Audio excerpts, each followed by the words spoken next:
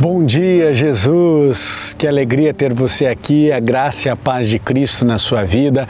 Pela graça preciosa de Jesus, toda maldição será lançada por terra. Você receberá a paz que você precisa para viver. Você poderá descansar e se deleitar nas promessas do Senhor e que essas promessas que são lindas e são para você possam se cumprir e nós vamos receber a revelação da palavra de Deus aqui hoje nessa meditação, nessa oração da manhã. Tenho certeza que essa reflexão levará você a profundos pensamentos e que esses pensamentos serão do céu aí colocados no seu coração. Fique comigo até o final, quero orar por você, pela sua família. Deixe o seu pedido de oração já aqui nos comentários. Louvado seja Deus por você. Se você ainda não é inscrito aqui no YouTube, é, olha aí no seu celular, você vai olhar embaixo do vídeo, tem um botão vermelho enorme escrito inscrever-se. Clique ali, vai aparecer um sininho clica no sininho, depois todas as notificações todas, pode clicar ali, você não paga nada e você vai sempre receber vídeos como esse. Você pode estar assistindo esse vídeo uh, no Face, no Insta, no WhatsApp, no Telegram, mas saiba que a base de todos esses vídeos é aqui no YouTube, tá? Então se você está assistindo em outra plataforma, venha para o YouTube, esse evento aqui está maravilhoso, venha para o YouTube, se inscreva, ative, a gente já está aí com 400 mil pessoas no canal, pessoas de todas as religiões. Você é meu convidado, minha convidada a estar com a gente, tá bom? Que Deus abençoe demais aí a sua vida, a sua família. Depois você escreve no comentário se meu cabelo tá muito estranho, tá bom? Mas o que não tá estranho, que sempre é lindo, sabe o que que é? É Filipenses 1:6. Um texto que eu acho que é conhecido de muitos de nós, se não de todos nós. Olha só o que diz aqui Filipenses 1:6, onde o apóstolo Paulo declara o seguinte: Estou convencido de, de que aquele que começou a boa obra em vocês vai completá-la até o dia de Jesus Cristo. Sabe, Jesus não é o ser humano que começa uma coisa e não termina. Você já deve ter visto isso aí na cidade onde você mora. Às vezes tem uma construção que começa e nunca termina. A gente chama de ah, essa obra está abandonada, construção abandonada. Começaram o projeto, mas por algum motivo não concluíram. Sabe, essa é uma realidade que é triste, mas que ela é real. As pessoas começam coisas e não terminam. Elas começam um projeto e largam elas esse projeto no meio do caminho. Deus não é assim. Deus começou uma obra na tua vida e Deus vai completá-la. E sabe, essa obra é uma obra de uma vida, mas Deus está trabalhando no seu coração e no meu. Deus está modificando quem nós somos para nos habilitar para a eternidade. Você já imaginou que você vai viver feliz para sempre? Você nunca mais vai ter insegurança, depressão, estresse, morte, dor, angústia, desespero, orgulho, vaidade, nada disso você vai viver, nada disso você vai ter na sua vida, nem eu.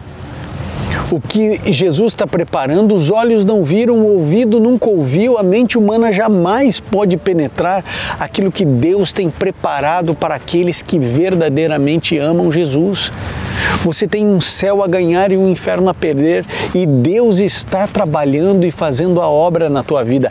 Sabe, na vida de José, a obra de Deus na vida de José teve uma venda dele para os midianitas, depois a venda dos midianitas para os egípcios, depois ele virou escravo, depois ele foi acusado, caluniado, depois ele foi para a prisão, deve ter apanhado, deve ter sido torturado, deve ter passado fome, deve ter passado calor, frio, não tinha ar-condicionado naqueles calabouços do Egito, não, no meio do deserto.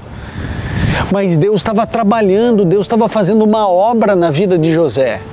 Então, antes de Deus enaltecer você, vão passar vales, vão ter momentos difíceis. mas Deus está trabalhando, Deus está fazendo uma obra na sua vida. Então toda essa dor que você está passando, toda essa angústia que hoje você está vivendo, esse sono que você perdeu ontem à noite, tudo isso faz parte de um plano maior. Hoje não faz sentido para você, não é fácil ser disciplinado por Deus, não é fácil ser moldado pelo Espírito Santo. Você se lembra, José era um filhinho mimado. Deus teve que fazer ele passar por tudo aquilo para amadurecer José. José teve que passar por tudo aquilo para ele poder ser realmente o melhor governador que o Egito já teve da história. Deus molda a gente na lágrima, no sofrimento, na frustração, na decepção, nas traições, nas vergonhas. O Espírito Santo molda quem nós somos também na dor. Agora, aquele que começou a boa obra em você vai terminá-la. Aleluia. Você diz amém? Sim ou não? Você crê? Se você acredita, você declara aqui embaixo, você escreve nos comentários: Eu creio. Você crê? Diga: Eu creio. Deus está trabalhando na sua vida. Eu sei que não está fácil, eu sei que está difícil, eu sei que alguém pode até dar uma risadinha e falar assim: é, Deus está tá fazendo uma obra então muito grande na minha vida, porque olha a quantidade de sofrimento. Eu sei que não é fácil. Lembre-se que eu sou de carne e osso como você. Eu também tenho medo, também tenho insegurança, eu também não tenho todas as respostas, eu também eu sou falho pecador como você. A minha vida é como a vida de qualquer pessoa. Tem dia de mau humor, tem dia de dor de barriga, tem dia de alegria, tem dia que a gente acerta e dia que a gente erra. Tem dias que as coisas parecem que vão dar tudo certo e tem dias que parece que deu tudo errado já. Eu sou exatamente como você. Mas a gente precisa confiar não no problema, mas na solução. A gente precisa confiar no que Cristo disse e não no que o diabo fica falando pra gente. O diabo quer derrotar você, ele quer desanimar você, ele quer jogar você no buraco, ele quer pisar no teu pescoço para você ficar o tempo inteiro paralisado achando que Deus não te ama, que Deus te abandonou, que Deus não te ouve, que a tua vida é só um mar de problema. O diabo fica assim ó, no teu ouvido o tempo inteiro. Ele é um mentiroso, ele é um derrotado certo? É um perdedor e ele quer levar você para a derrota dele. Não permita isso. Você vai focar na palavra de Deus. E hoje a mensagem de Deus para você diz que aquele que começou a boa obra na sua vida vai terminá-la. Você crê? Acredita nisso? Então, além do seu pedido de oração, digite nos comentários: Eu creio. Duas palavras, mas você está dizendo para o inferno que você crê na Bíblia e não nas mentiras do mal. Sabe, Deus quer abençoar o teu dia. Deus quer abençoar você. Deus quer dar vitórias e surpresas na sua vida. Então abra a porta do seu coração para Jesus fazer morada, para que ele habite em você e para que ele direcione os teus pensamentos. Louvado seja Deus pela tua vida. Deus vai proteger o teu lar, Deus vai cuidar das pessoas que você ama. Você tem orado, eu quero agradecer todos aqueles que deixam um joinha aqui no YouTube, porque isso é maravilhoso, porque faz o YouTube levar essa mensagem para mais pessoas. Louvado seja Deus, também não custa nada para você. Obrigado a todos vocês que compartilham, vocês que levam esperança aqui no Bom Dia Jesus. E olha, vou te falar uma coisa, hein? O Boa Tarde Jesus está cada dia mais especial. O Boa Tarde Jesus tem alcançado milhares de pessoas, milhares e olha, tem sido muito bom.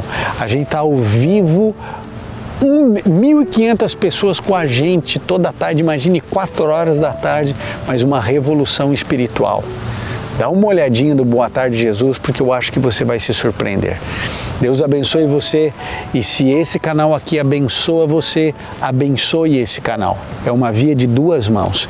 Se esse canal te protege, se esse canal tem trazido esperança para você, se o Bom Dia Jesus, o Boa Tarde, o Boa Noite Jesus tem feito a diferença na sua vida, abençoe para que esse canal permaneça no ar e para que ele possa alcançar mais e mais pessoas. Eu vou deixar aqui, como sempre, a minha chave Pix, que é ministérioivansaraiva.gmail.com, tudo em letra minúscula Você pode colaborar, pode participar, faça sua oferta, faça sua doação, interaja.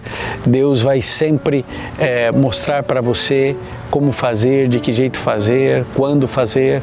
Que Deus abençoe muito você e a sua vida. Eu te convido agora a orarmos nessa oração da manhã. Bondoso Pai que estás nos céus, estamos preparados para receber as tuas bênçãos. Convidamos o Senhor para entrar na nossa vida, para fazer morada no nosso coração. Convidamos o Senhor para transformar o nosso ser e para completar a boa obra que o Senhor começou. Salve-nos para a eternidade e nos dê uma vida abundante aqui na terra. Usa-nos, Senhor, para a pregação do Evangelho, ajude-nos a sempre compartilharmos essas mensagens, a sempre levarmos esperança às outras pessoas. Te agradeço a cada colaborador, a cada doador aqui do ministério, que o Senhor tenha uma bênção especial para a vida deles. Permaneça conosco, Senhor, cuide de cada pedido de oração aqui nos comentários. Nessa oração da manhã, clamamos ao Senhor e pedimos as tuas bênçãos.